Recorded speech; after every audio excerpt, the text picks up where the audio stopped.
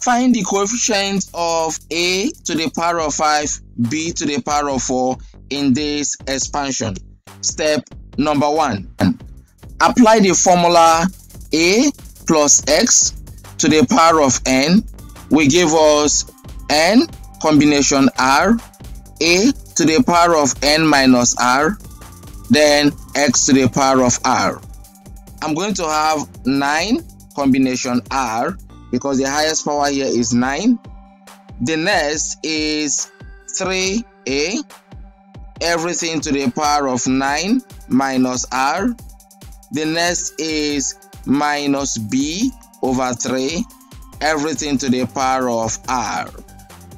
9 combination r, 3 to the power of 9 minus r, a to the power of 9 minus r, minus b to the power of r and 1 over 3 to the power of r. So I'm going to take only a 9 minus r and I'll equate it to a to the power of 5. Here you see a will take a and I can have 9 minus r is equal 5.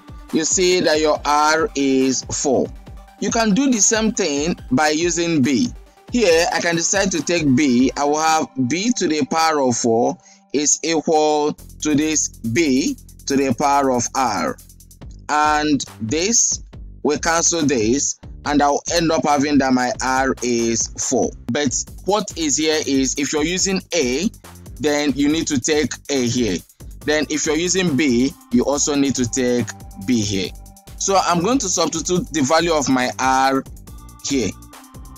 Substituting for r and solving this, you're going to get 3, 7, 8, a to the power of 5, b to the power of 4.